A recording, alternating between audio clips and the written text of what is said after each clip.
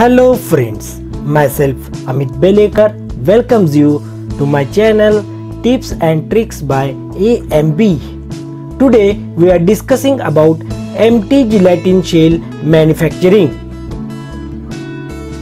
After going through this video, the learner will be able to describe manufacturing of empty gelatin capsule shells.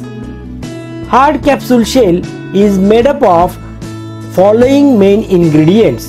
First important ingredient mostly which is used is gelatin but shells can be prepared by methyl cellulose or polyvinyl alcohol or denatured gelatin also.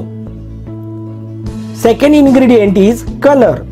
So colors are used for producing attractiveness. Third ingredient is opacifying agent like titanium dioxide.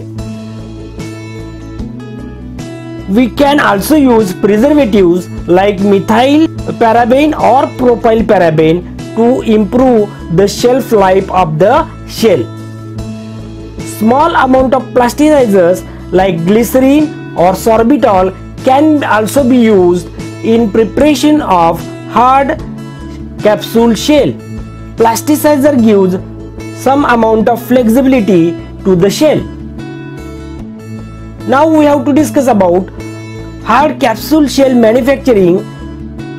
Capsule shell body and cap is manufactured by dipping cool stainless steel mold pins into gelatin solution prepared by various ingredients. It involves following steps. First step is dipping. Here pairs of pins of required size of capsule are dipped into gelatin solution of desired viscosity and removed. So viscosity of gelatin solution is playing a very very important role.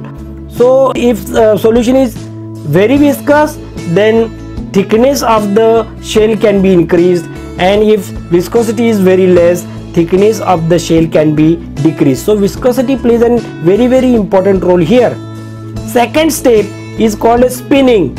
Here pins are rotated with the help of a spinner to form uniform layer of gelatin solution on pins. So for uniform thickness of shell uh, spinning is very very important step. Third step is drying. After spinning pins are then passed through a series of temperature controlled air drying chambers. It causes drying of the gelatin solution and removal of the solvent from the gelatin solution. Then capsule shells are removed from the pins by stripping with jaw. This process is called as stripping. Then these capsule shells are trimmed to desired uh, length by stationary knives. Nowadays, laser beams can also be used for this process which is called as trimming. And last step is called as joining of capsules.